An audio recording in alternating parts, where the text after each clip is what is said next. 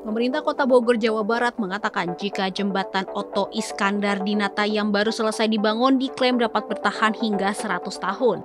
Konstruksi jembatan senilai kurang lebih 101 miliar rupiah ini dirancang melalui perhitungan yang matang termasuk daya ketahanan terhadap beban hingga getaran yang dapat bertahan seperti bangunan lama.